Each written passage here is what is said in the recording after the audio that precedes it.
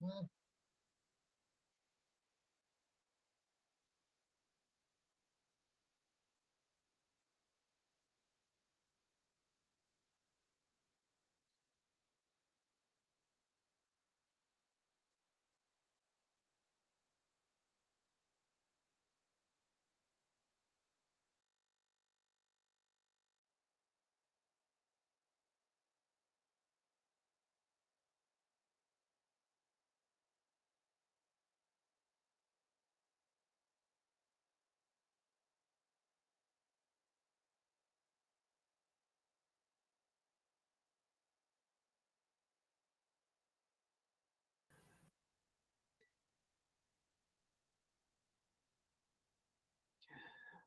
On va ouvrir les yeux doucement.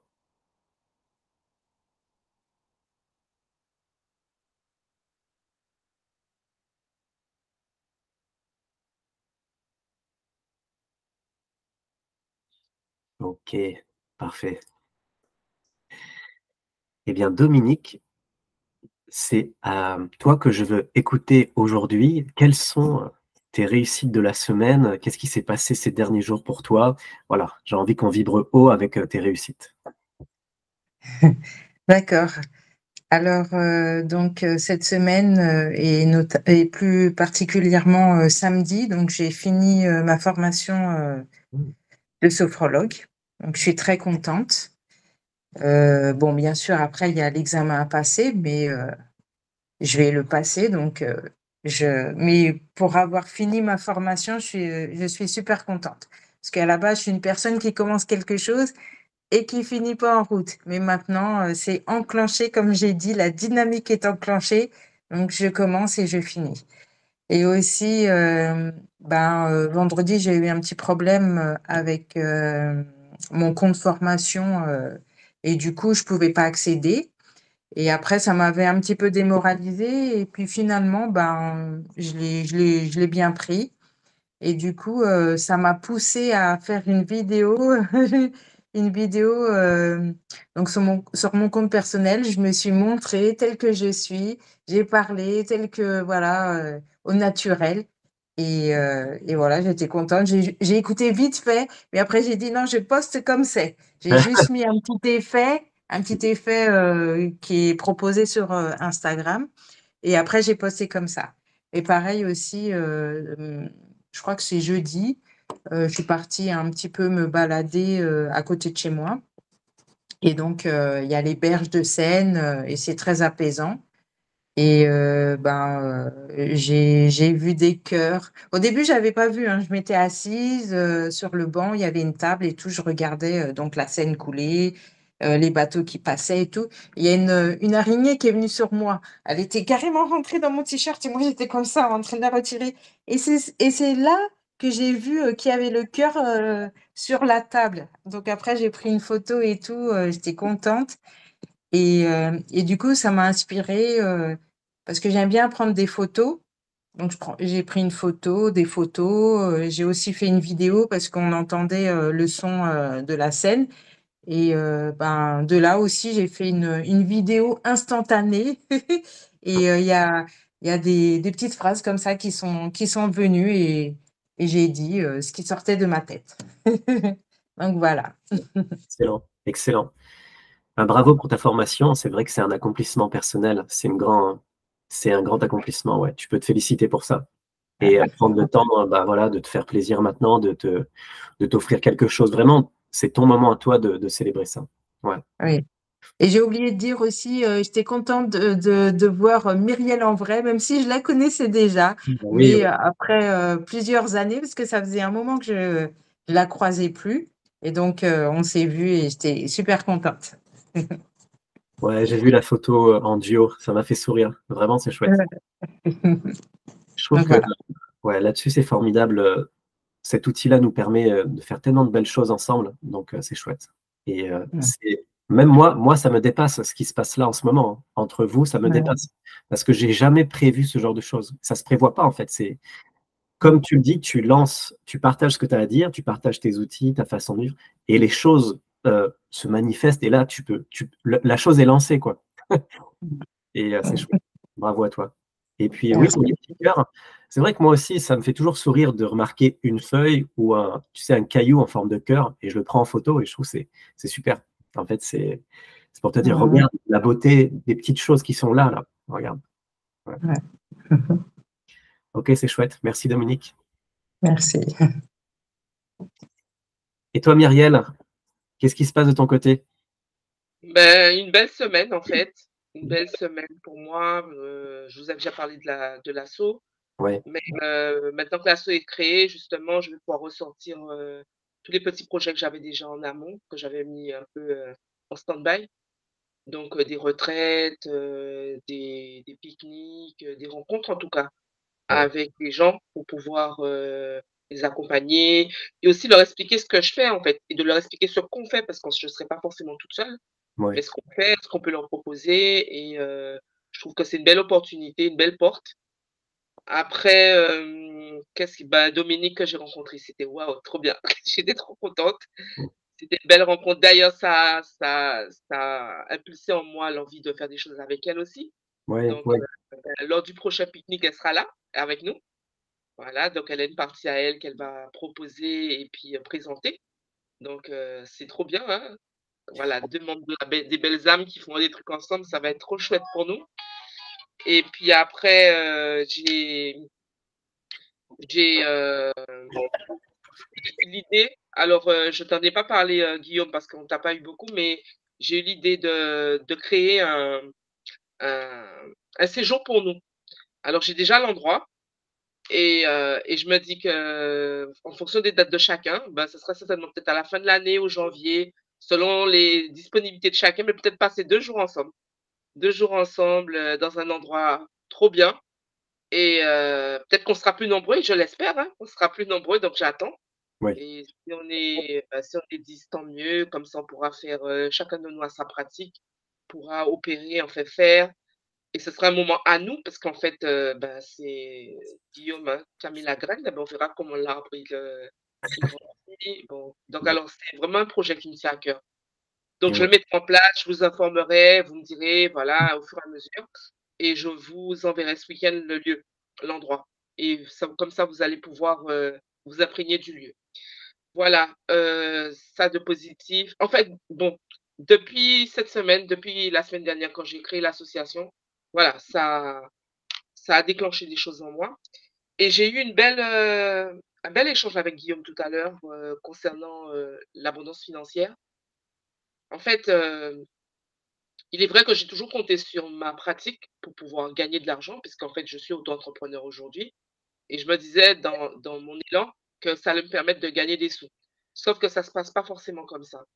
Euh, ça ne se passe pas forcément comme ça pour diverses raisons que je ne vais pas évoquer, puisque de toute façon, il y a tellement de choses qui, peuvent, euh, non pas freiner, hein, mais se mettre en place pour que ça puisse, être fluide. Mais je me suis dit, euh, je vais postuler à un poste fixe pour, avoir, pour avoir un salaire stable et rester dans ma dynamique de, de la création d'ateliers, d'accompagnement. Et Guillaume m'a donné un bon conseil, c'est vrai, c'est que ça me donnera, je serai moins stressée de ne pas avoir de retour de, de l'autre en fait. C'est-à-dire mmh. euh, de ne pas avoir, euh, euh, ne m'avoir pas contacté pour, pour, pour un programme ou pour un atelier, enfin peu importe. Mais en tout cas, j'aurai moins ce, ce, poids mmh. et je serai plus libre en fait de, de parler, d'être. Et franchement, je le ressens vraiment plus libre et plus libre de d'offrir en fait, d'offrir et, et ça, je vais le faire à partir de ben, septembre, là, dès que j'ai, comme j'ai postulé à l'éducation nationale, ben, j'attendrai et voilà. Donc voilà, les, les bonnes, c'est une bonne nouvelle pour moi. Et puis ce matin, Guillaume qui arrive comme ça et qui me parle de ça, je me dis, ben voilà, tout tombe à point de me le dire et que je l'entende en fait, que oui, cette mmh. liberté, ben, c'est moi qui dois me la... Et que c'est aussi chercher des, des, des, pistes pour m'apaiser au fond de moi par rapport à ma pratique et continuer mon chemin. Voilà. Voilà, voilà. Mmh.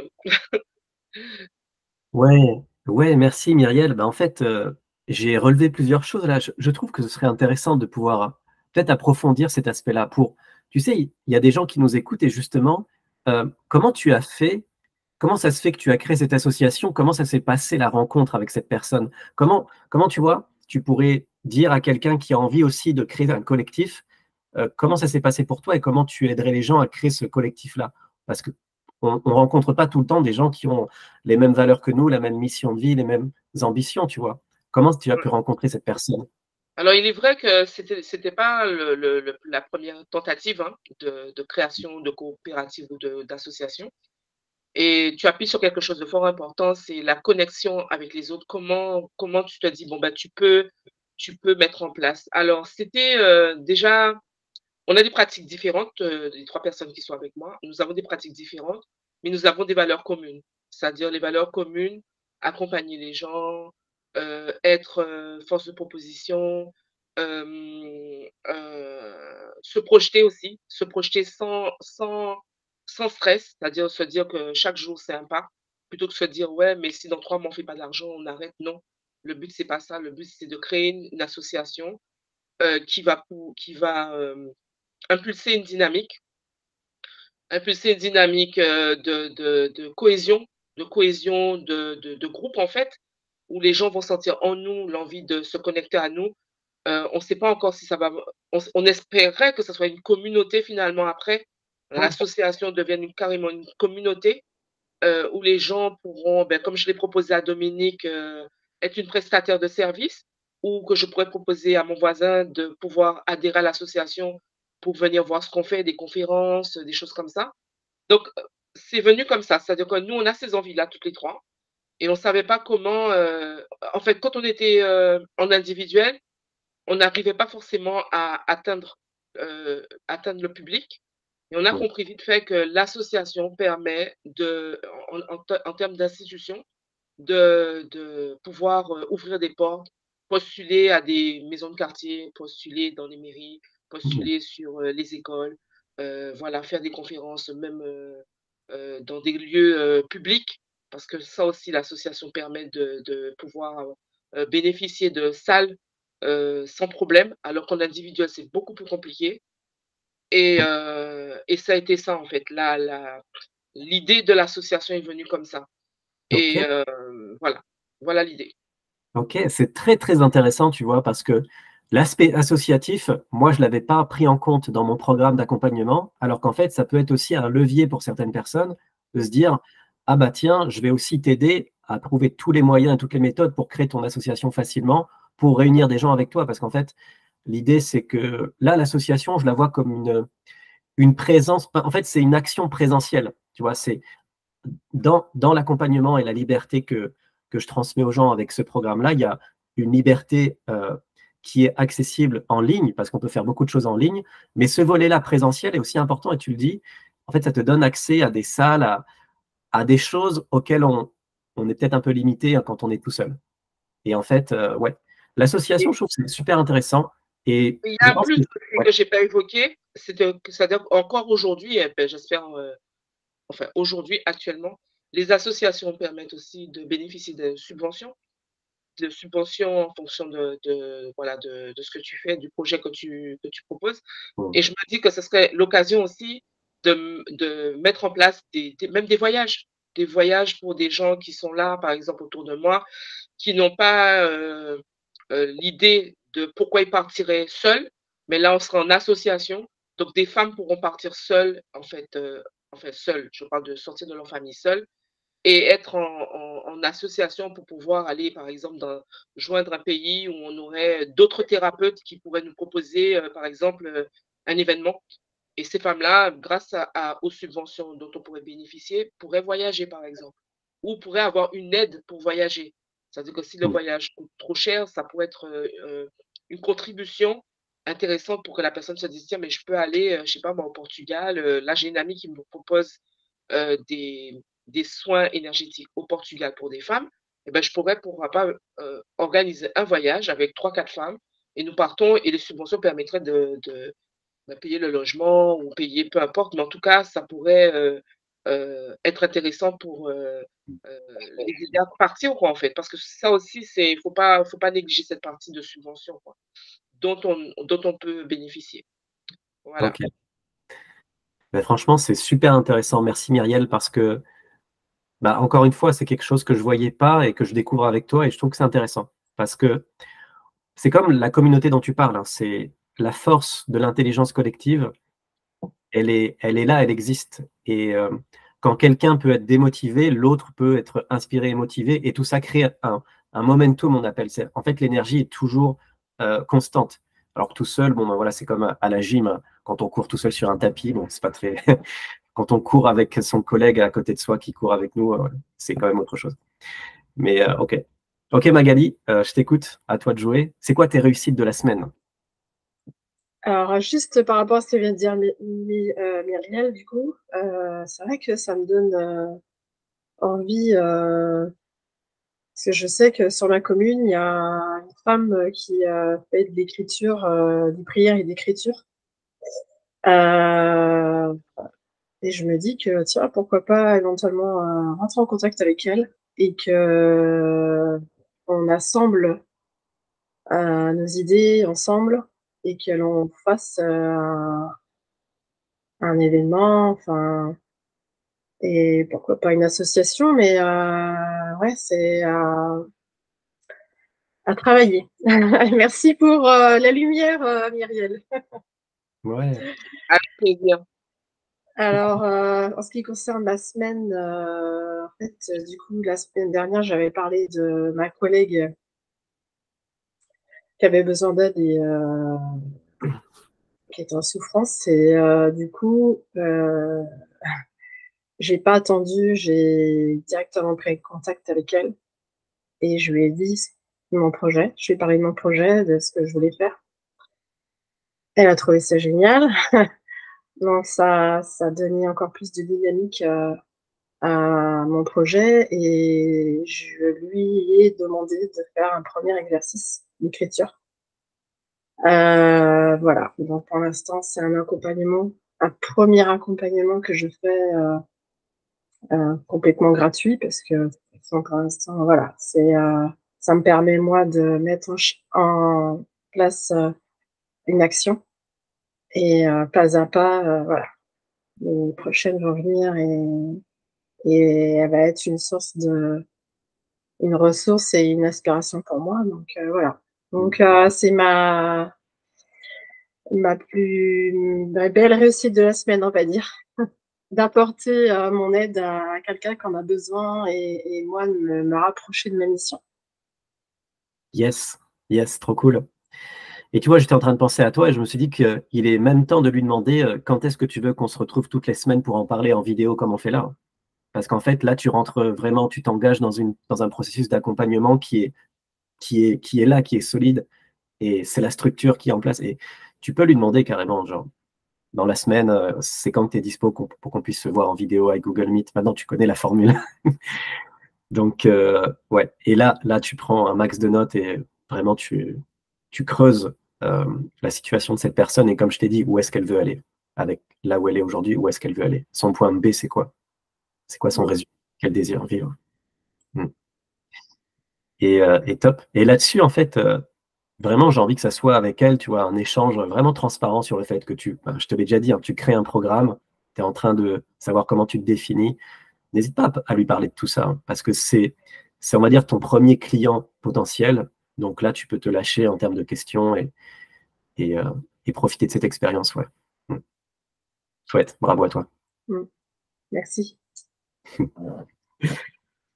Alors, euh, ben, en fait, Myriel, tu vois, tu m'as parlé de, plusieurs choses et je vais quand même revenir sur certains points. En fait, l'idée de. En fait, vous êtes tous en train de créer un, accompagnement. Et en fait, je me dis que vous pouvez tous à un moment donné vous dire, mais je suis en train de créer un accompagnement, mais je peux aussi m'aider de plein d'autres personnes pour que cet accompagnement soit encore plus complet et enrichi et, et, magnifique et efficace et transformatif. Ça veut dire que moi, aujourd'hui, je me rends compte que l'accompagnement énergétique, c'est super important c'est pas quelque chose que je fais personnellement, mais c'est quelque chose que je pourrais intégrer dans mon accompagnement. Ça veut dire que je peux faire appel aussi à des gens qui sont déjà dans le métier, qui savent de quoi ils parlent et leur dire bah, mon accompagnement, bien sûr, il y a de l'entrepreneuriat, c'est important de construire un projet pour en vivre, mais il y a aussi un accompagnement énergétique parce que durant les six mois que tu es avec moi, ben, une fois par mois, tu auras une séance avec une, praticienne énergéticienne et ça, c'est trop bien. C'est-à-dire, la personne, elle fait en fait, tout est là. Et c'est pour ça que c'est cool de se demander il y a ce que je sais faire moi, Et il y a aussi ce que savent faire les autres et comment on peut intégrer d'autres experts, d'autres praticiens dans notre accompagnement. Après, euh, après c'est ça qui est magnifique, c'est qu'il n'y a pas de règles, c'est vous qui faites les règles et on est là pour créer cet accompagnement qui résout absolument tous les besoins de la personne. Et euh, le besoin énergétique, il est important. Je me rends compte qu'il est, est, presque vital. Donc voilà. Myriel, tu veux rebondir? Ouais, c'est vraiment intéressant ce que tu dis parce que c'est tout à fait notre, notre euh, mindset en fait sur cette association. On, est, on a des pratiques différentes. Donc, euh, pour vous clair, pour que vous puissiez comprendre, on a une naturo, naturo-vitaliste. On a une, euh, une, une, fille qui fait de l'accompagnement à la parentalité. On a certainement Dominique qui va nous rejoindre. Et le but, en fait, notre idée, c'est on rencontre quelqu'un euh, qui a un problème, un souci, et qui, euh, voilà, on fait une anamnèse et après on se dit euh, comment on peut l'accompagner au mieux? Et il se peut que moi, j'ai des limites en fait. Il se peut que voilà, j'atteigne mes limites ou que j'ai pas les outils moi, je suis pas adapté à ce qu'elle ce dont elle cherche. Et je vais passer la main à une de mes collègues. Je peux passer la main à Dominique ou je peux passer la main à, à la Naturo ou à l'autre personne. Mais en fait, le but c'est ça, c'est créer une association où des thérapeutes vont venir vers nous et, il faudra que ça soit comme une, euh, on dira comme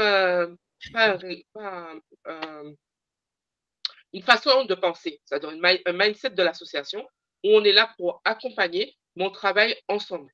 C'est-à-dire que si tu ne peux pas, bah, tu passes la main à ta collègue et on peut même travailler ensemble. C'est-à-dire une personne, il se peut que avec euh, une personne, je peux travailler certainement avec Dominique et on se dit, bon, on se fait des comptes rendus, on mutualise nos, comptes rendus pour optimaliser notre, optimiser notre euh, accompagnement et qu'on se dise qu'à la fin, on a fait du bon travail, quoi, en fait. Mais c'est vraiment, tu as vraiment mis le doigt sur la, chose, euh, Guillaume, c'est ça. Mmh. C'est être ensemble. Pas être dans son coin et se dire que non. Euh, puisque finalement, ça fait que on peut lâcher quelqu'un alors qu'on a quelqu'un sous son nez pour pouvoir l'aider, en fait. Et ça peut être aussi un Magali à distance, euh, voilà, parce que plus, plus je vais connaître de personnes et plus j'aurai des outils pour me dire, bon, ben, j'ai de quoi euh, vous accompagner euh, au mieux, quoi, en fait. Et proposer à cette personne d'appeler Magali, d'appeler Béatrice ou d'appeler toi, enfin, voilà. Il faut vraiment qu'on. Enfin, c'est mon état d'esprit, c'est l'état d'esprit des personnes avec qui j'ai créé l'association. Voilà. L'union fait la force. Exactement. L'union fait la force. Et puis, en fait, tout, tout, le monde, enfin, on a tous euh, quelque, chose à, quelque chose à apporter dans le mal-être de quelqu'un. Euh, et on est tous, euh, je parle des thérapeutes, hein. on mmh. est tous, les thérapeutes qui sont comme nous dans la spiritualité, on, on a tous notre pierre à, mettre à, l'édifice, enfin à, mettre à l'édifice, on a tous ça. Mmh, et si moi, je ne considère pas, toi Magali, je ne considère pas Guillaume et Dominique dans ce que vous apportez, parce que c'est vraiment de la considération. Hein.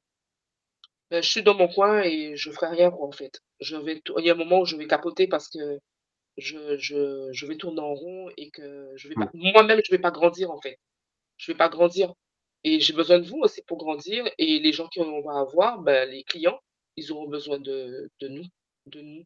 Et je pense que c'est ça, en fait, le nouveau monde, en fait. C'est se dire qu'on a tous besoin des uns des autres et que la synchronisation de tout ça fera un monde beaucoup plus avec une autre, une autre vibration, quoi, en fait. Il y a quelque chose à faire, en fait, à ce niveau-là. Voilà. Le Nouveau Monde, ça me fait penser à un livre qui est aussi euh, important dans mon processus, c'est La Nouvelle Terre d'Eckhart Nouvelle Terre. Alors ça, ce livre est magique.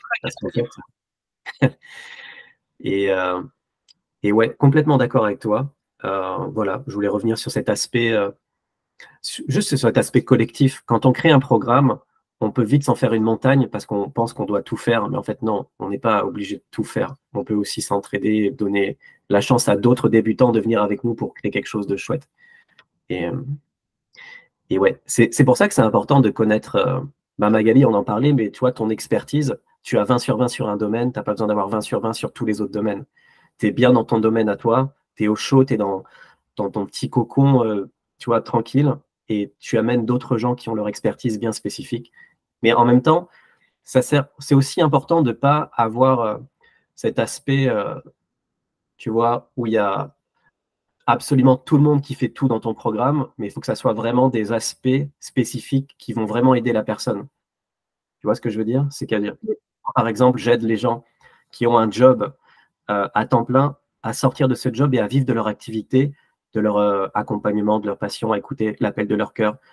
Et c'est ce résultat-là qui doit être vécu.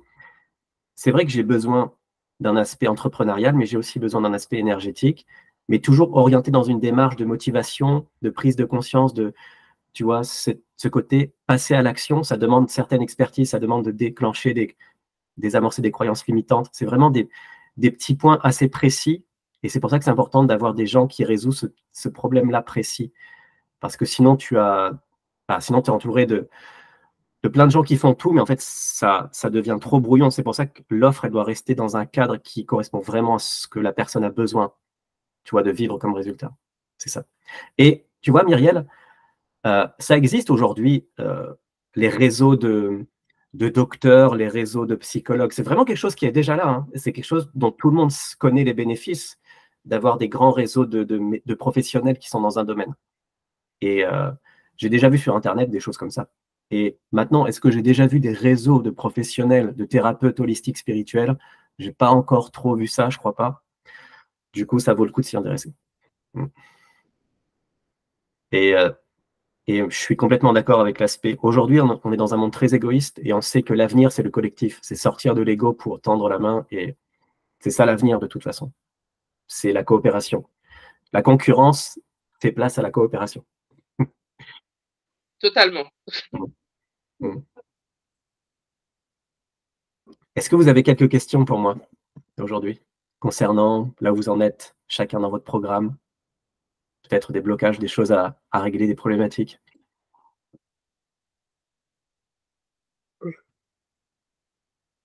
J'ai juste à mettre euh, en ligne euh, mes, euh, mes, prestations. J'ai pas eu le temps cette semaine. Mais bon, vu comme tu m'as expliqué la semaine dernière, donc je le ferai là. Je le ferai certainement d'ici lundi. Mais voilà. Donc, il y a un truc que je voulais vous dire en fait. Il faut garder la foi. Garder la foi. Franchement, c'est trop magique trop, trop magique. Trop, trop mmh. magique. Je vous raconte une anecdote qui n'a rien à voir avec, euh, avec euh, euh, nos professions, mais c'est pour vous, pour vous signifier comment il faut garder la foi. En fait, Dominique, elle est déjà au courant. Ma, ma, dernière fille, elle était à l'école à la maison depuis, depuis cinq ans. D'accord? Et vous savez très bien que l'éducation nationale, ils ont tendance à mettre la pression tout le temps de retourner à l'école, mais bon, elle est restée à la maison et ça s'est très bien passé. Ça s'est très, très bien passé. Elle a eu de bonnes, de, de belles années, euh, voilà, de, d'école, en fait, puisqu'elle est au lycée dire qu'elle fait école à la maison? Oui, pendant cinq ans. Et là, euh, il s'avère que elle, veut, elle voulait retourner au lycée parce que le cursus qu'elle veut mettre en place, il faut qu'elle aille vers sa spécialité. Donc, elle rentre en première.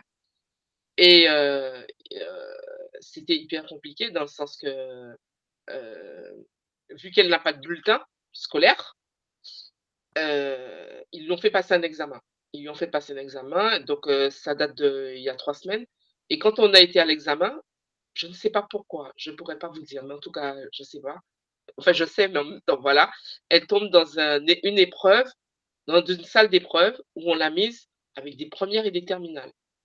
Et c'est le même sujet. Et je lui dis: «Mais comment ça se fait, en fait? Pourquoi on l'a mise là?» et je lui dis, en fait, en la laissant à la porte: «Écoute, vas-y, vas-y, reste concentré, vas-y et pense à ce que tu veux. Tu veux rentrer en première au lycée. n'oublie pas ça, reste là». Pendant deux jours, elle a passé l'examen, donc pendant deux jours, je répétais la même chose. Reste concentré sur ce que tu as à faire. Ne te pose pas de questions. Fais ce que tu as à faire si tu sens que c'est compliqué, c'est pas à ton niveau, laisse, lâche. Et effectivement, ça a créé en elle un peu un stress parce qu'elle s'est dit, mais je ne vais pas réussir. Et quand on est rentré, je travaillais sur, avec ça sur elle. Je lui dit, écoute, pose une intention. Et là, elle a posé une intention sur une feuille de papier. Je, il y a le congélateur d'ailleurs, moi je ne parle pas trop fort, mais en fait, elle a déposé son intention dans le congélateur. elle l'a mis là. Et elle m'a dit, j'ai écouté ce que tu m'as dit, maman, j'irai en première. Mais elle a déposé son intention. Et là, on a reçu euh, un courrier c'était, on est on est dimanche, on a reçu le courrier vendredi, disant qu'elle passait en première dans le lycée à 500 mètres de chez nous. Et je la regarde, elle avait le visage un peu. Je lui dis, tu vois ce que je te dis, il faut garder la foi. Garder la foi. Et surtout que ton intention, quand elle est précise, tu l'écris et tu te dis qu'il n'y a pas autre chose. C'est ça. Mmh. Et ça, franchement, euh, moi-même, moi-même, enfin, j'étais moi-même euh, euh, touchée parce que je me dis, mais oui, la foi, c'est ça en fait qui fonctionne. C'est de rester concentré sur ce qu'on a à faire et ne pas se laisser égarer, disperser, garder la foi. Et c'est ce qu'on fait là entre nous là. Franchement, Guillaume, tu as dit quelque chose. Hein. On en reparlera, je suis sûre. Guillaume, il a dit quelque chose tout à l'heure. Il a dit euh, que nous, on, à nos débuts là, et tu parlais de communauté et tu parlais de réseau. Réseau. Rappelez-vous de ça aujourd'hui. Le réseau des thérapeutes libres. D'accord? Et ça, c'est pas tombé dans l'oreille d'une sourde. Donc, gardons la foi et créons en nous le réseau des thérapeutes libres. On n'est pas beaucoup, mais j'y crois, en tout cas. J'y crois parce qu'il n'y a aucune raison que ce ne soit pas possible. Voilà. C'est pour ça que je vous ai raconté ça, en fait. Gardons la foi. C'est très bien, c'est très bien. tu as ce don pour raconter des histoires et, et, nous embarquer là-dedans. Et tu vois, moi, je sais que j'ai pas ça, mais c'est ok, j'ai autre chose. Mais toi, là, ce que tu viens de faire, j'apprécie beaucoup. En fait, euh, l'anecdote qui nous amène, tu vois, à, nous éveiller sur un sujet, c'est parfait. C'est comme ça qu'en fait, euh, tu, c'est comme ça que tu débloques les situations pour les gens. Tu fais bien, je vais te raconter une histoire. C'est du vécu, c'est une expérience que j'ai vécue et il y a eu une grande sagesse, il y, a une, il y a une leçon derrière cette histoire. Et j'adore quand on me raconte les choses comme ça. Et c'est d'ailleurs comme ça que on devrait tout raconter, puisqu'en fait, on a vécu des choses qui nous ont fait comprendre certaines choses. Donc, euh, ouais, parfait. Et oui, le réseau des thérapeutes libres, ça me parle complètement. En fait, euh, maintenant, je le comprends de plus en plus. Mais tu vois, c'est drôle parce que moi, je suis quelqu'un de très individuel à la base pendant des années, tout seul, à faire tout tout seul, à avoir tous les résultats tout seul. Et je me suis enfermé là-dedans en disant, mais c'est bon, je peux tout faire tout seul jusqu'à ce que je me fasse coacher, jusqu'à ce que je me fasse accompagner par des gars qui sont aussi dans des communautés, jusqu'à ce que je rentre dans des programmes euh, à plusieurs milliers d'euros pour que je comprenne, waouh, en fait, c'est ça qui se passe. En fait, il y a, y a des programmes qui accompagnent, qui apportent une telle valeur ajoutée aux gens. Et tu vois, quand je te parlais d'avoir plusieurs personnes dans ton programme pour décoincer certains besoins spécifiques de ton client, en fait, c'est, je suis rentré dans des programmes où quasiment tous les jours de la semaine, il y avait un appel vidéo avec un expert qui résout un type de problème pour aider ce client-là. Par exemple, un coach en mindset, un coach en motivation, un coach en énergie, un coach Instagram, un coach euh, entrepreneuriat, tout ce que tu veux. Et chaque semaine, tu avais un gars qui venait en conversation avec nous, avec tout le monde là, pour décoincer quelque chose qui amène un résultat. Et en fait, je trouve ça génial, ce genre d'approche où tu as dans ton programme plein de référents qui viennent t'accompagner sur un sujet précis, eh bien, tu as, bien sûr la, figure de proue, la tête de liste, on va dire, comme les élections, tu vois, qui, est le chef d'orchestre de tout ça.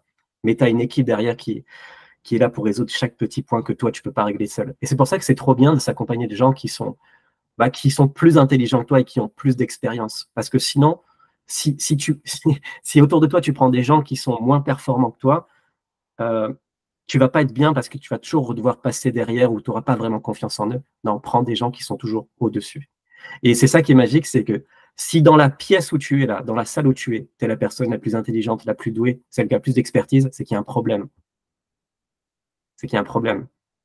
Ça veut dire qu'il n'y a que toi qui sais plein de choses et les autres, bah non. En fait, tu dois être dans une pièce où tu es presque la personne qui, en, qui connaît le moins de choses parce que tu es là pour t'entourer de gens vraiment qui sont dessus. Et tu vois, c'est une leçon pour l'ego aussi de se dire, bah, l'ego, euh, voilà, casse-toi de là, moi j'ai envie de grandir. ouais, Myriel J'ai une question pour toi, en fait. Hum. Euh, là, tu es derrière l'écran avec euh, ce groupe de femmes. Hum.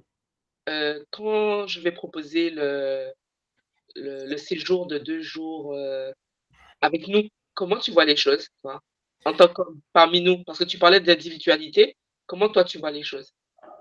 Ben, Ce qui est drôle, c'est que ces cercles de femmes, on va dire entre guillemets, moi, je l'ai toujours vécu d'une manière hmm, presque inconsciente. C'est-à-dire que j'ai eu un parcours scolaire où j'étais entouré de, beaucoup de femmes. J'étais, euh, j'ai fait un bac littéraire, donc j'étais le seul gars. J'ai fait un bac option art plastique, j'ai toujours le seul gars. J'étais au Beaux-Arts, je faisais partie des seuls gars.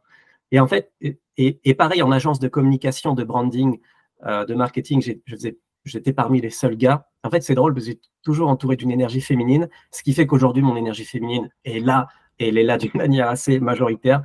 Ok, c'est cool. Et du coup, je me dis, ben, je me sens à l'aise, tu vois, avec ce genre d'environnement, ce genre de contexte. Et je me dis, euh, en plus, mon énergie masculine, je sais qu'elle est là parce que je suis quelqu'un qui a souvent euh, un côté yang qui est quand même développé. Ça veut dire que moi, je ne suis pas forcément dans l'intuition hyper subtile, je suis plutôt dans une forme de je veux quelque chose et je vais tout faire pour y arriver. Ça veut dire que je crée, je crée. Et limite, je suis dans une pratique de euh, je ferai tout pour y arriver. Comme tu dis, il n'y a pas de plan B et je ferai absolument tout pour y arriver. Et dès que j'y arrive pas, je recommence, je recommence. Et ça, c'est une énergie yang, masculine, qui consiste à créer, à y aller en forçant limite. Et en fait, j'atteins un certain levier, un certain résultat avec ça. Et aujourd'hui, il y a tout ce côté yin qui n'est pas trop développé chez moi, tu vois, c'est ce côté lâcher prise. Parce que c'est dur pour quelqu'un comme moi de s'arrêter, de méditer, de rien faire, alors que j'ai tellement d'ambition et de projets dans ma tête. Tu vois Et du coup, je me dis qu'être entouré de vous, bah, c'est aussi me permettre d'avoir une autre énergie parce que vous, allez, vous avez une aura, vous avez quelque chose qui, émane de vous. Et à travers la vidéo, je peux le ressentir, mais en vrai, je vais le ressentir encore plus. Donc, en fait, on en parlait avec Magali là. Euh, le côté où, toi, Magali, tu me disais, j'ai envie euh, de t'inspirer comme moi je t'inspire. Et j'ai trouvé ça magique et c'est ça que je veux. C'est ça que je veux. C'est que moi, j'adore inspirer, mais j'adore aussi être inspiré par vous tous. Et à chaque appel, j'ai quand même j'ai une révélation. C'est trop drôle. À chaque appel, c'est un, travail, euh, un travail collaboratif en fait. Ouais. Et, là, même, quand on parlait de ce que disait Myriel et quand tu, même toi, quand tu crées une entreprise, enfin maintenant, moi, l'entreprise euh, euh, de demain idéale, c'est, euh, ça serait vraiment une entreprise où il n'y a pas, moi, je, je suis le, patron et tu fais ça et toi, tu fais ça. Et non, c'est, toi, tu es doué là-dedans, alors fais-le. Je te donne carte blanche pour le faire. Toi, ton truc, c'est autre chose. Fais-le et et cette, euh, cette euh, multiplicité de, de, dons, de, de compétences euh, fait que l'entreprise va à son apothéose parce que parce qu'il peut pas en être autrement en fait. Quand tu es entouré de gens en plus qui ont cette même vision que toi de Enfin, moi, vraiment, c'est quelque chose qui, qui, me tient à cœur. C'est euh, euh, on est homme, femme, on est déjà. Euh, on est tous égaux, on a tous, comme tu disais, toi, ta partie yang, nous, partie yin, à s'apporter, en fait, mutuellement, être complémentaires, en fait. Et une entreprise qui fonctionne bien, pour moi, c'est une entreprise où les uns les autres, on est complémentaires et, et, par exemple, tu es bloqué sur quelque chose et paf, l'autre, il vient te, te donner l'impulse. Hein, et euh, c'est comme, comme ça que je, je envisagerais mmh. les choses. Ouais, complètement. Et en fait, moi, je vois, tu vois, je me vois entouré d'une dizaine de personnes, pas plus, juste pour gérer un, un, truc vraiment impactant qui transforme la vie des gens, ouais, une dizaine de personnes. J'ai pas envie d'être entouré d'une centaine de personnes. Mm. Peut-être, peut-être la communauté en elle-même, il y a des milliers de personnes. Mais, mais après, tu t'éparpilles trop. Oui, mais le cœur de mon activité, le cœur des gens qui travaillent avec moi personnellement, qui sont en contact intime avec moi, c'est une dizaine de personnes. Mais la communauté en elle-même, elle peut être super grande. La communauté, elle, elle s'autogère quelque part. En fait, euh, elle s'auto-alimente, elle s'auto-entraide. Mais la partie euh, entrepreneurial où tu as ton équipe à toi, bah voilà, une dizaine de personnes, c'est très bien. Une dizaine de personnes qui ont les mêmes valeurs, la même vision des choses. On sait où on va, pourquoi on y va. Et ouais. Donc, euh, ouais, Myriel, euh, voilà comment je vois les choses hein, pour notre rencontre. J'envisage ça avec beaucoup d'enthousiasme. Génial. Génial. et, et c'est trop cool que tu en parles parce qu'en fait, dans mon programme, j'ai prévu aussi trois jours de rencontres en présentiel. Et euh, ces trois jours-là sont importants. C'est pour ça que ça ne ça doit pas être fait dans la précipitation, mais ça doit être un moment clé où cette rencontre-là va permettre de passer un vrai cap. Par exemple, dans mon programme, il y a des moments où on doit vraiment euh, ben, travailler une vidéo où on explique son programme, sa méthode. Il y a des moments clés comme ça qui demandent un travail plus intense. Et ce moment-là, je dois être avec la personne en vrai pour l'aider, parce que c'est important. C'est là où on peut être découragé parce que à un moment donné, il y a un pic de travail qui doit être nécessaire. Et là, il faut être motivé. Là, il faut avoir quelqu'un avec qui on lui tient la main pour lui dire OK, on y va. Et voilà. C'est ces moments clés, en fait. Mm.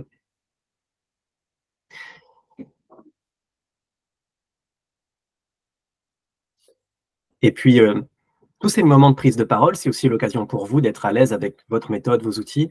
C'est pour ça que c'est cool et je vois déjà que vous parlez tous avec beaucoup plus d'aisance que les derniers, enfin que les derniers rendez-vous de toute façon. C'est drôle parce que je crois qu'on en parlait déjà la semaine dernière, la façon dont le premier rendez-vous et, celui-là, il y a quand même une, différence flagrante. Je pense que tout le monde s'en souvient et, euh, c'est chouette.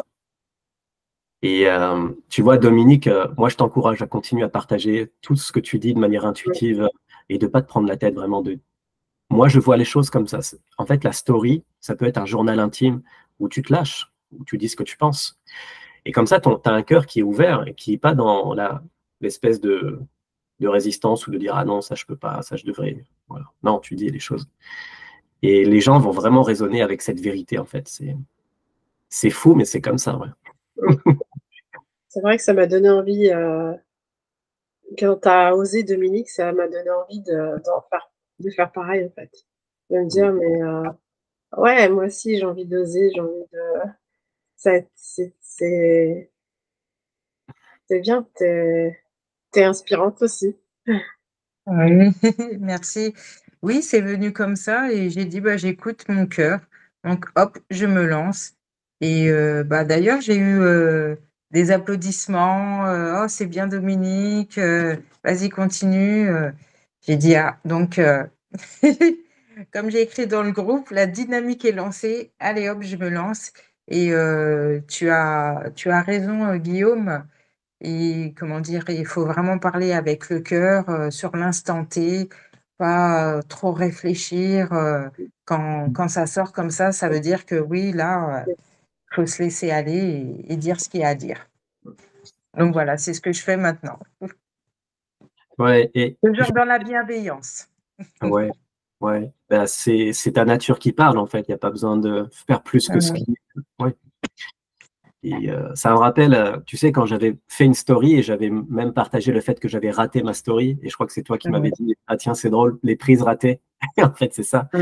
C'est et franchement, c'était pas simple pour moi de, partager ça. Parce que je te jure, j'avais quand même une résistance par rapport à mon image qui est là. Et j'adore reconnaître ça, tu vois. C'est reconnaître là où il y a encore du travail. Oui. Tout à fait, oui. Et en fait, euh, ce qui est chouette, c'est que vous allez comprendre de plus en plus qu'on n'est pas dans de la création de contenu, mais on est plus dans un documentaire, documenter notre vie quotidienne. On documente. Et en fait, on, documente le réel. Et, et, du coup, ça change tout, en fait.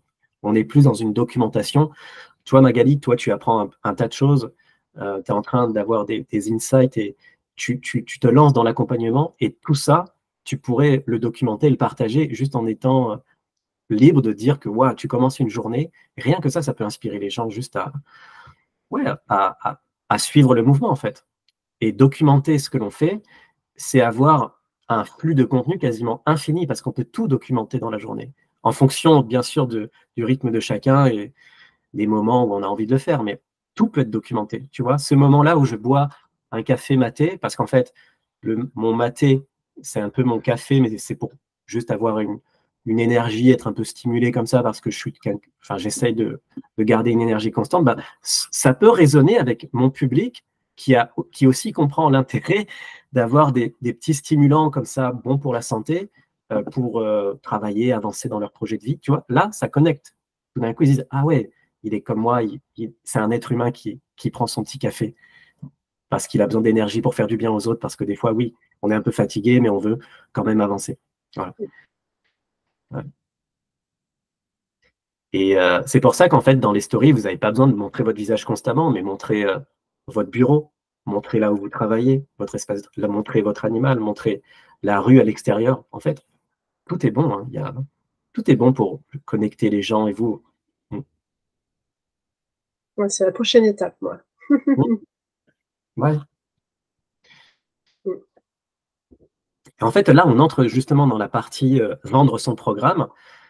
C'est exactement ça. Aujourd'hui, vous ne pouvez pas vendre un programme à des gens qui ne vous connaissent pas, parce qu'en fait, euh, il, y aura trop, y aura trop d'objections et d'interrogations. Euh, qui es-tu? Je ne te connais pas.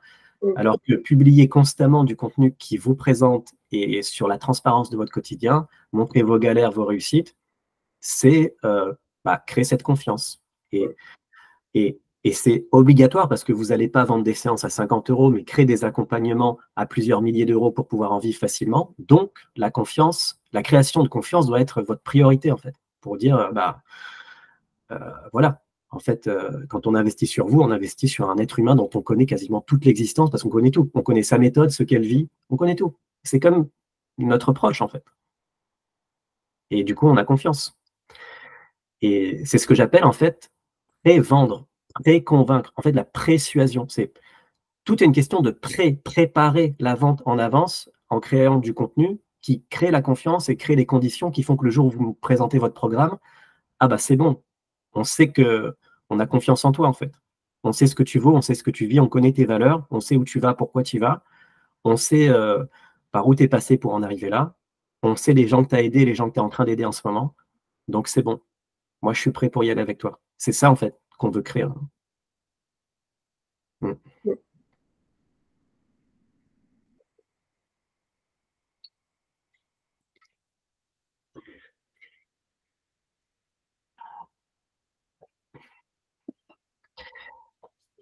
Et euh, ouais.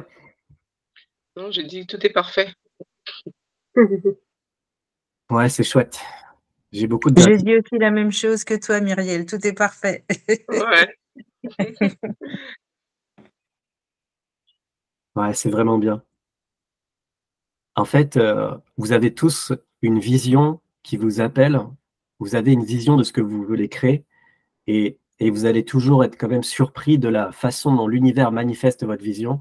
Et en fait, c'est incroyable. C'est ça, franchement, c'est ça, je trouve, le, plus grand des plaisirs, c'est voir et être surpris par la façon dont les choses se manifestent au quotidien parce que vous avez une vision que vous maintenez, vous êtes aligné sur ça et vous êtes surpris de la manière dont l'univers vous répond et vous met les choses en place.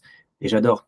Parce qu'en fait, rien ne peut être prévu à la perfection, mais on peut avoir une vision, mais on ne peut pas prévoir tout ce qui se passe. Donc, on a quand même et, c'est trop bien. Moi, je suis, je suis content de voir tout ça. Ouais. Et euh, je suis en train de me demander, en fait, vous pouvez, en fait, à votre niveau, euh, faire de la publicité pour ce, cette communauté-là. En fait, les belles âmes, vous pouvez carrément juste demander aux gens, bah, tu es thérapeute, euh, tu voudrais être dans une communauté, en plus, vous connaissez en fait l'intérêt de ce qui se passe là tout de suite entre nous, et ramener des gens, et c'est OK hein, pour moi. Demandez-leur s'ils veulent participer et vous m'en parlez en message privé et on voit comment justement on peut les intégrer dans notre communauté. En fait, moi, je, je suis là, mais en fait, j'ai mon quotidien, ma semaine aussi. Et, euh, mais vous, si vous avez du temps libre et vous connaissez des gens qui pourraient être intéressés, eh ben, ramenez-les là-dedans et on voit comment on s'organise ensemble, bien sûr. Ouais. C'est une bonne idée. C'est une bonne idée. Ouais, je pense que carrément.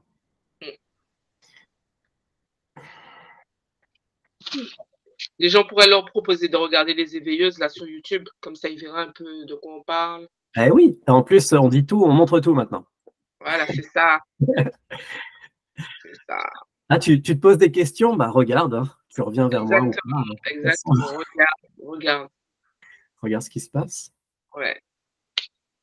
Là, c'est pas l'intelligence artificielle, c'est du réel, c'est nous. ouais, Ouais, ouais, tout ça, c'est intéressant parce que ouais, il y a une artificialité du monde et en fait, on peut aussi être comprendre que peut aller contre-courant de tout ça et ouais, ramener un peu de ah réel. J'ai vraiment besoin de ça, d'être vraiment dans le réel, là.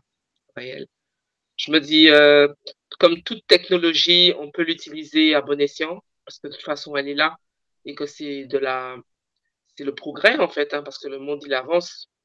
Mais comme tout aussi, il faut savoir euh, limiter, mesurer, et puis ne pas oublier que nous sommes des êtres humains, qu'on a un cerveau et que c'est, on a des émotions, enfin, on est vivant, quoi, et que c'est, c'est à travers, c'est l'efficace, l'efficacité va, va être à travers vraiment ce qui est réel, pas à travers ce qui est superficiel. Ce qui est superficiel, à un moment, ça va se casser la gueule si vous ne faites que ça. Des, des, je sais pas moi, utiliser que l'intelligence artificielle. Les gens me disent oui, mais chez moi tout est intelligence artificielle. Mon lave-vaisselle, mon ceci, mon cela. Et je me dis, oh, je me dis, mais euh, c'est quoi en fait euh, tu vis comment en fait? Je me dis, euh, cette personne me demandait, mais tu fais encore la vaisselle chez toi? Je dis, tu sais même pas comment je kiffe faire la vaisselle parce que quand l'eau elle coule dans mes mains, je suis loin, je suis en train de regarder l'eau couler là, je suis dans, un, dans une méditation. Et j'ai dit, tout le monde le sait à la maison que quand je fais la vaisselle, personne ne me parle. Parce que je me dis, l'eau, elle coule. Et que déjà au niveau praxis, ça fait travailler mes praxis. Parce que la vaisselle, ça fait travailler les membres. Ensuite, au niveau de, du, du, cerveau, ça apaise parce que c'est de l'eau qui coule. Et puis de voir que c'est moi qui lave ma vaisselle, c'est trop bien. moi, je suis anti-lave-vaisselle. Je, je sais, voilà, je suis, j'aime bien le, le, la modernité, mais il y a des choses pour moi qui doivent rester parce que c'est ce qui me, c'est ce qui va me permettre de. En fait, la vaisselle a un rôle en fait dans la, pour moi, dans la vie de chacun. Même les mmh. personnes âgées. Je me dis, une personne âgée qui fait la vaisselle, mais si elle a de l'arthrose, ça lui permet de faire travailler ses doigts. Et l'eau aussi qui coule, ça permet de faire un massage avec l'eau. En fait, ça a un sens. Tandis que quand je mettais dans la vaisselle, ben voilà quoi, c'est. Ouais. Et pire maintenant, parce qu'on ne va même pas appuyer sur un bouton, ils ont une télécommande maintenant. Tchic, comme ça t'appuies, ça c'est tout seul. tout, bah, tout, en fait, même l'aspirateur. Je me dis, mais c'est quoi ça? Pour moi, il y a des limites, en fait, et des limites qui permettent de, de nous, de nous se dire qu'on est vivant, en fait. On est vivant et que, voilà, c'est intéressant. Euh, ben, je sais pas si les gens font le ménage en famille, mais des fois, faire le ménage en famille, c'est trop cool. Une bonne musique qui est dans la maison, tout le monde a une tâche respective, ça fait du bien. Tout se dire qu'on appuie sur des boutons et que tout fait tout, euh, je sais pas. Ça, c'est mon avis, mais bon. Moi, je suis pour le les gens veulent gagner du temps, tout le temps, tout le temps, mais quand tout prend un temps. Mais en fait, euh, qu'est-ce qu'ils font euh, quand ils ont du temps? C'est ça. ce sont les réseaux. Exactement, Magali. Tout à fait, Magali. Tout à fait. Ah, j'ai rien contre les, les, réseaux, mais parce que hmm. c'est certainement ça qui va me faire euh, développer mon activité. Mais je te le disais, Guillaume, c'est vrai que reconnectons-nous à nous, même en fait. ouais, et euh, justement, ouais, Myriel, en fait, euh, c'est trop cool parce que chaque chose du quotidien, de toute façon, on peut euh, en faire un bénéfice ou un désavantage. En fait, c'est comme la confiance. La confiance, c'est super cool, mais dès que tu es dans un excès de confiance, ça devient égoïste et tu deviens un dictateur. En fait, tout est une question d'équilibre. Et la vaisselle, c'est intéressant parce que toi, c'est ton point d'ancrage. Mais ouais, pour quelqu'un d'autre, ça peut être une autre activité. Et pour même quelqu'un d'autre, la vaisselle, ça peut être le point où, euh, euh, le point, euh, comment dire, où il n'y a pas du tout d'ancrage et, en fait, c'est juste un, moment pas cool parce qu'en fait, tout le monde a une, relation différente avec les activités. Mais tu vois, le temps qu'on gagne effectivement, Magali, aujourd'hui, on a une technologie qui nous permet de gagner du temps. Et c'est effectivement le temps qu'on gagne, qu'est-ce qu'on en fait avec? Est-ce qu'on en fait quelque chose de, merveilleux, de positif, ou on en fait justement une fuite en avant avec les réseaux? Où, du coup on, dit putain j'ai passé trois heures euh, sur les réseaux, il s'est rien passé, est-ce que ça valait le coup? Bof. Mais moi, tu vois, ma réussite de la semaine, j'en ai pas parlé, j'en parle maintenant, c'est que j'ai fait une semaine sans YouTube. Et pour moi, ça, c'est juste incroyable. Parce que le temps que je passais sur YouTube à consommer des choses, je me dis, mais c'est incroyable. J'ai fait sans YouTube et tout d'un coup, j'ai réussi à rester vraiment aligné avec mes objectifs, mes valeurs, parce que ouais, il y a plein de contenus qui te font vriller, qui t'éparpillent, ton focus devient ailleurs. tout d'un coup, tu réalises qu'il y a une crise politique, financière, et tout ça, ça t'aide pas. Bien sûr, ça existe, mais là, c'est un moment sensible où tu crées un programme d'accompagnement pour les gens. Je veux dire, c'est un moment donné où l'énergie doit être orientée sur quelque chose. Voilà, l'accompagnement, aider les gens, euh, garder une énergie qui est belle, garder la foi, garder la foi. Il suffit, et il y a beaucoup de contenus sur Internet qui ne t'invitent pas à garder la foi, qui te font juste peur. Il y a beaucoup. Et en fait, c'est quasiment l'anxiété euh, du contenu sur Internet, c'est fou. Et Ouais, donc moi, ma déconnexion YouTube, elle m'a fait trop du bien. Et du coup, le temps que j'ai gagné, ben, je, je lisais, je regardais des films inspirants, tu vois, je faisais autre chose. Et, et c'est trop cool, en fait. Bravo. Merci. Et en fait, j'ai un calendrier où, en tout cas, c'est ma façon de faire, hein, tu vois, où je fais une croix. J'ai imprimé là le calendrier pour juillet et je continue, pas de YouTube, et je mets une croix chaque jour où j'ai pas regardé YouTube. Tu vois, en fait, c'est ma façon de gérer les habitudes. C'est important. Créer de nouvelles habitudes, c'est rendre facile euh, ces nouvelles habitudes. Et moi, j'aime bien visuellement voir ma progression. Hum. Et là, l'idée maintenant pour moi, c'est de transformer mes siestes en méditation. Et bon Dieu, franchement, on verra comment ça se passe, mais j'adorerais, au lieu de faire la sieste pendant une heure, méditer pendant 30 minutes. Si je pouvais remplacer ça, ce serait dingue. Et je sais que je peux le faire, il faut juste que faut juste que je, faut, faut pas qu'il y ait de plan B quoi. Je me donne pas le choix. Il faut vraiment que je sois dans cette optique-là. Comme tu dis, comme on disait tout à l'heure, je fais ça. Est-ce que tu as essayé les méditations guidées? Ouais, j'ai fait pendant un moment et je pense que ça va être mon entrée parce que c'est plus simple de, de, rester focus sur une voie parce que si je ferme les yeux et que je fais rien, mon imagination prend le dessus et tout d'un coup je pense à des trucs. Et je suis très visuel, je suis très dans la création donc si je ferme Tu connais Bernard Werber? J'ai entendu parler de ce, ce gars. Ouais. Ah, ah ben, J'ai pas entendu. Moi. Alors, alors je, je, vais te, je vais vous, euh, je vous invite à aller regarder qui est Bernard Werber sur mm. YouTube. Ah. Et lui, il a, une, il a, des méditations guidées très puissantes. C'est le gars qui a écrit Les fourmis. C'est le gars qui a écrit euh, La boîte de Pandore, euh, un film, un, un, livre dans lequel il y a de l'hypnose régressive. Il est très, très bien. Il a une page YouTube euh, bien, bien, bien achalandée, quoi, en fait. Et il parle de pas mal de choses. Je vous invite à les regarder. Mmh. Bernard Gerber.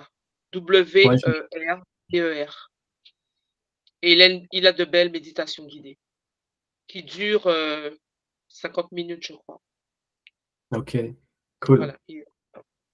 Merci pour la ref. Je vais voir ça. Moi, les méditations, je les fais au réveil parce que c'est là qu'on est le. Je regarde pas mon téléphone, je commence par me réveiller, être euh, dans la gratitude parce que un nouveau jour euh, commence. Et je commence par la méditation.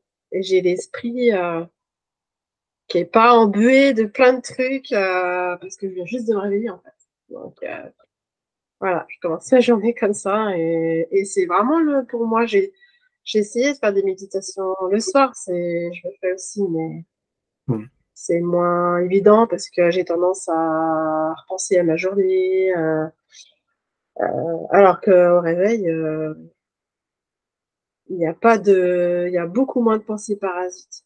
Essaie, essaie le matin au réveil. Ok. Avant de te dérocher par terre. ouais, je suis d'accord avec toi ouais, sur ce point. Euh, le soir, on a en plus l'énergie qu'on a accumulée la journée, donc moi, je tendance en plus à m'endormir. Ouais, Dominique, tu lèves ta main. Oui. Après, euh, non, c'est pas grave. Après, pour les méditations, euh, c'est vrai que moi, euh, pendant ma formation, j'ai ce que j'ai appris, c'est que pour éviter que les pensées elles viennent comme ça constamment, euh, il, faut, euh, il faut se dire que vraiment, il euh, faut prendre ce temps pour soi. Ensuite, il faut faire d'abord un petit, un petit exercice de respiration, c'est-à-dire on inspire par le nez en gonflant le ventre et après on expire par la bouche douce, doucement. Et il faut le faire trois fois. Et comme ça, du coup, ça apaise l'esprit et en tout cas, au début, il y aura des pensées qui vont revenir, ça c'est normal, parce que le cerveau, il n'est pas encore habitué à ce qu'il euh, n'y ait plus de pensées à ce moment-là. Donc, c'est un exercice qu'il faut faire euh, quotidiennement dans les débuts, les exercices de respiration à faire trois fois et euh, après, par la suite, euh, il y aura beaucoup moins de pensées. Moi, euh, je l'ai expérimenté avant d'avoir fait ma formation. Et c'est vrai que quand j'allais dans, dans, des ateliers de, de sophrologie, alors là, c'est ce que j'avais dit à, à, la sophrologue, bah, j'avais du mal à lâcher. Et je dis, dans ma tête, il y avait, ah oui, il faut que je fasse ci, il faut que je fasse ça, je vais faire ci, je vais faire ça. Elle m'a dit, non, mais il faut continuer à faire des, exercices de respiration trois fois. Et effectivement, bah, du coup, maintenant, ça, ça, ça va beaucoup mieux. Voilà. Après, il y a aussi être dans un état où il faut vraiment faire le calme, en fait. Mmh. Voilà. Ok, ok, super, Dom. Ben, en fait, euh, je vais, faire ça pour notre prochaine réunion, tu vois. En fait, au lieu de partir direct en pleine conscience, je vais faire mes trois respirations profondes et ensuite partir en pleine conscience. Et, je sais déjà que c'est la chose à faire. Donc, tu me rappelles quelque chose que, que j'avais oublié. Merci à toi. Ah. Bon, eh bien, il est 14h05 on va s'arrêter là pour aujourd'hui et je suis bien content encore une fois de vous avoir retrouvé. Ah, c'était vraiment un, beau moment. Merci à vous. Et, euh, et, je vous souhaite une très très belle journée et euh, à bientôt sur WhatsApp et puis euh, à la semaine prochaine. Voilà. Merci. Bon week-end. Merci. Au revoir.